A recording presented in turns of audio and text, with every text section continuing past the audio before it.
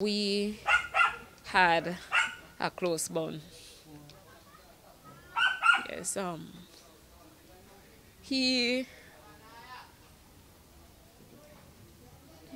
he was like my first baby. The other day, I was um reminding him and telling him about the things I used to do with him when he was small, and he was laughing, and it's it's just good memories that I have from him. Uh, like what I told my mom, be comforted by the life he lived. This morning, we met Noah Moro's family preparing for his wake at their Roaring Creek residence. Arlene Moro, Noah's only sister, spoke with us off camera.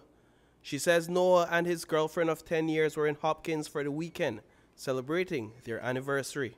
According to his girlfriend, he just wanted to go out and enjoy himself. He just wanted to dance with her. Yes, so that was what he wanted to do. Uh, but unfortunately, he met his death there. She gave us further insight into what transpired inside the nightclub prior to the shooting.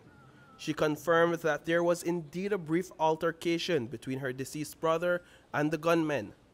But according to Arlene, that only happened after Noah noticed that the men were continuously making unwanted passes at his girlfriend and he became concerned for her well being. That is what we are understanding that one of the guys um, came up, approached his girlfriend, and was offering her drinks, and she declined. And then the three men actually came closer to her and passing comments to her, and that was when he saw that happening and went to check and he was like babe you okay? and things like that yes. But initially it's not like he approached the men. He was checking on her well-being and safety the three men would leave the nightclub at that point and later return to carry out a brazen act of indiscriminate bloodshed the girlfriend told the Moro family that Noah used his body to shield her from the spray of bullets she remained traumatized after witnessing the deadly mayhem. She is not in the best of state. She is still traumatized.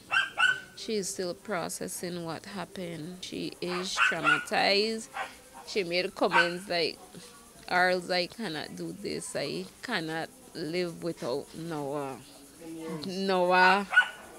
She said Noah was her whole world. Yes. So I like what I told her. She will always be my sister. And we will always be here, here for her no matter what. She mentioned that when that incident happened, like there wasn't that help. The help was not there from the people in general. Rather, people pull out their phone and were videoing while she and my niece were trying to make sure that he was okay at the time. Noah's eldest sibling, Aldan Moro, says the family is grateful that the alleged gunmen are now in police custody. As an older brother, he is in rue over not being inside the nightclub that morning to protect his little brother. We as the family, we, we would have won. I think we deserve uh, one very good investigation in regards to this matter, you know, because it could have be worse, you know. We have to give the police the credit for where they move and apprehend them, you know, before anybody else get hurt, you know. But in regards to at the club, that me really uncalled for. Deep down, really and truly, I I barely even got words to express my situation. I wish I was there with, with my little brother, you know because anybody know my brother, anybody know we we that love. We no trouble nobody, man. You know, and just rip up the family, like really rip we up.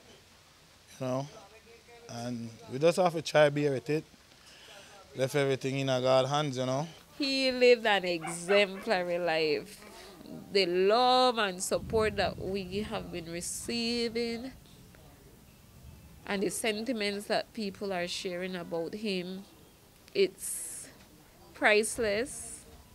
It's all good, only good things. Yes, so I am very satisfied with the life he lived.